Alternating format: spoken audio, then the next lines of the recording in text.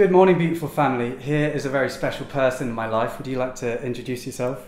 Yes, I'm Dr. Elizabeth Thompson of the National Centre for Integrative Medicine in Bristol, but I do happen to be George's mum as well. So, this is Mum, and we're going to go on an adventure today, right? Where are we going? To one of my favourite places, the Bristol Botanic Gardens.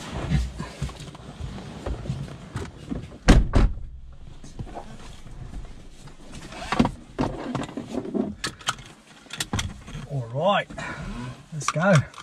So, I guess the thing that interests me about going to a botanics garden is the fact that our ancestors had knowledge of all these plants and herbs that do actually have medical qualities. They're not just kind of witch doctor serums. They had knowledge of how nature could actually support us medically. Yes, that bit is fascinating. So, science is really proving the benefits of some of these plants, but um, that knowledge was there beforehand. Mm. So, you know, there's this interesting plant called the scurvy plant um, that the local people, as the sailors got off long voyages, would know to give to them to eat a bit. But science has shown that it's got some of the highest levels of vitamin C in any plant. So that is fascinating and a little bit magical that people would know these benefits. Uh, welcome. My name's uh, Nick Wray and I'm curator here at the University of Bristol Botanic Garden. This is a fantastic uh, teaching and research resource for the University of Bristol, but also for the citizens of Bristol. The Botanic Garden was founded by a German man called Adolf Leipner, and he founded the garden uh, along with two colleagues in 1882. Four and a half thousand different species of plant from all around the world are used for teaching uh, and research from school children through field courses, study courses, specialist courses, all the way through uh, to just enjoying the garden. Nice picnic. A couple of years ago, um, I came to the Botanics and interestingly, none of the medical undergraduates were using the Botanic Gardens as a teaching resource. So what's been exciting is to set up teaching modules that include visits to the Botanic Gardens so that um, the students can really learn more about the history of herbalism and how it very much informed our lives as modern doctors. So George, this beautiful daisy, it's one of the daisy family and there are lots of different daisies, but this is the very beautiful echinacea. And for hundreds of years, it's been used to support the immune system, obviously 150 years ago we wouldn't have known it as the immune system, but it has been shown when you take it by mouth, particularly just at the onset of cold or flu-like illnesses, just to shorten them because it's stimulating to the immune system. It's not something to use all the time, uh, but often I will use echinacea and some vitamin C uh, to support me during uh, a cold or flu-like illness, just so that I recover that little bit quicker. Uh, but it's a very, very beautiful plant, as you can see. So we're here in the Western Herbal Garden of the Bristol Botanic Gardens. You can see it's a very beautiful space and I'm going to talk a little bit about some of the plants. But I do need to say I am not a herbalist. I'm actually a holistic doctor I trained and qualified in conventional medicine, but I was always interested in other approaches. And about four years ago, set up a new centre for integrative medicine, the National Centre for Integrative Medicine, in Bristol to look at how we combine conventional lifestyle and holistic approaches because we've got lots of things out there that we can use and that our patients and the public are using. So why not start to provide a healthcare system that really matches and mirrors what people are doing in reality.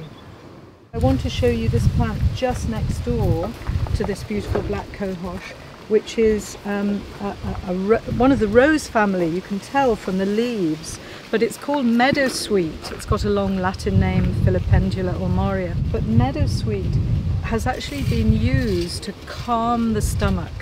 And um, what's really fascinating is this is what we get aspirin from.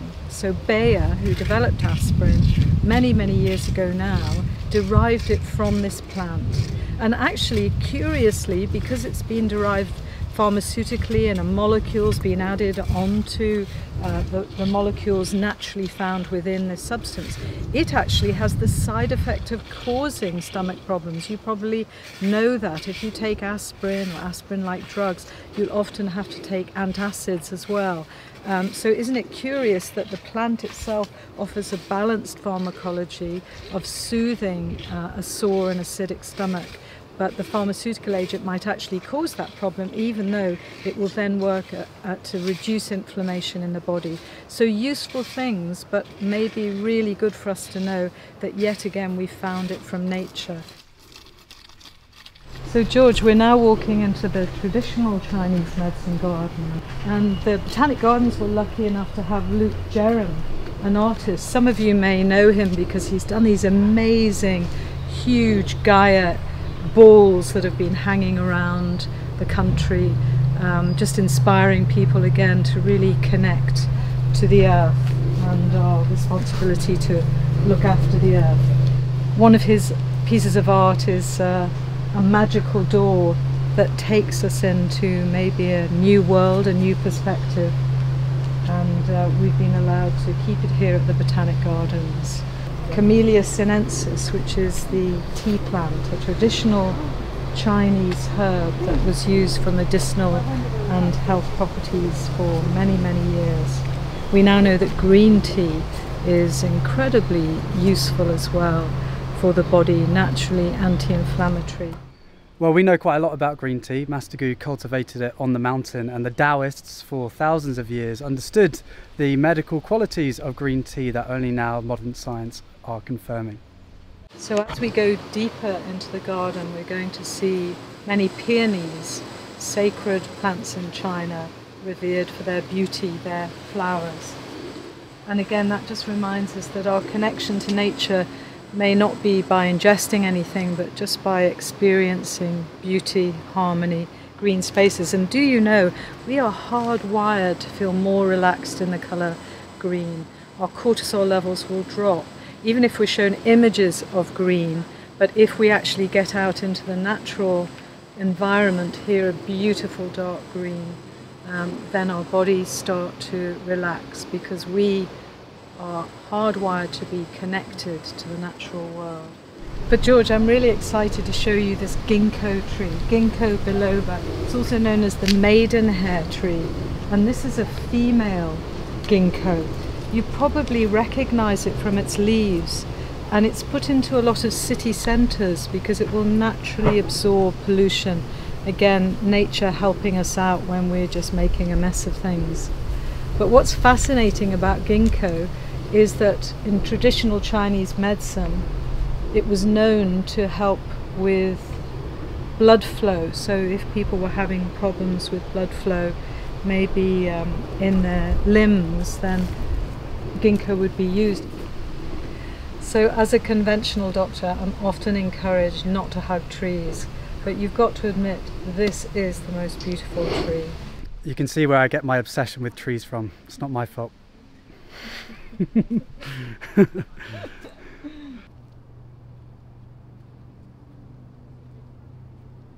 dear, dear. I've just mm, taken a little bit of Szechuan pepper, this incredible red pepper. So in Chinese you have ma and la. Ma is the numbing spice, like this Szechuan pepper. My mum's currently struggling. And then la is the chili spice that we used to. But do we have uh, numbing spice in, in the West? We don't have this. Uh, obviously, pepper will make us sneeze and stimulate, but this completely makes us go numb.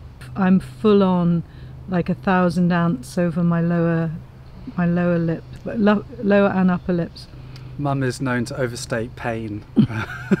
Not sure how much this is affecting me, but yeah, when me and Master Gu went to Sichuan, we went to Chengdu, the capital, and I used to in the restaurants just like pour loads of this and just like enjoy the numbing spice. Oh wow! It's I, my lips are just totally buzzing. I quite enjoy it. I get a bit of a Have kick you got out it, it yet? Because Yeah, you let may. me crunch it. Oh my god! Right, Has it started? it's begun. So we're going to visit the hothouses, and uh, in the hothouse we're going to see a lot of foods that we're used to, like chocolate, turmeric, ginger, cardamom. It's just fantastic to see these things growing. Cinnamon bark. But we'll head in there and then see what yummy things are there for us.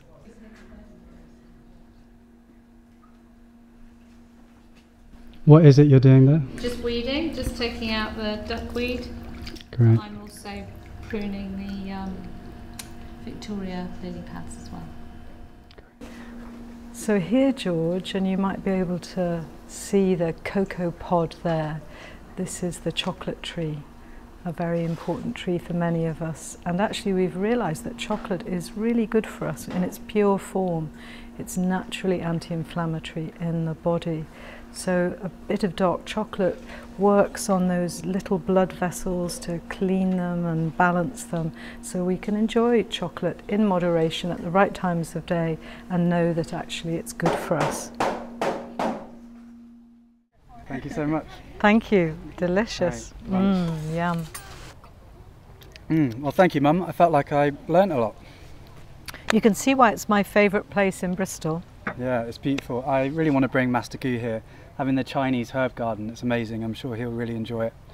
When you think of the diversity of plants and trees that are here, eh, you know, it's just so exciting. And you can come again and again and learn new things all the time. Yeah, and it started in the 1880s. It connects me to the Victorians who also had this fascination and love of nature, and this institution's still going. I think it's an amazing thing. Yeah. So, if you enjoyed what Mum talked about today, you're doing more stuff like this, or do you want to tell people in general what you're up to and how they mm-hmm. can get in contact? Yeah, do follow us on Facebook or Twitter or Instagram, the National Centre for Integrative Medicine.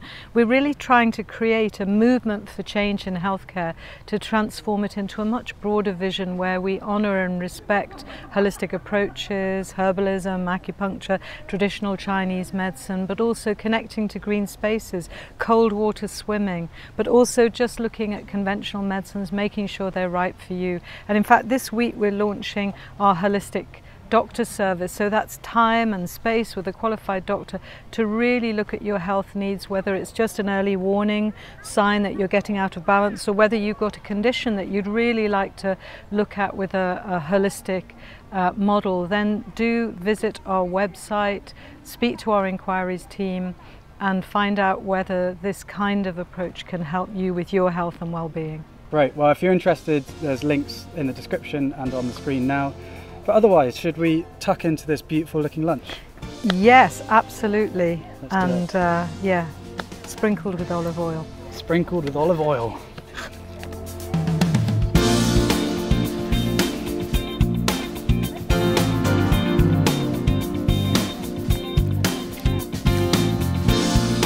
Until next time.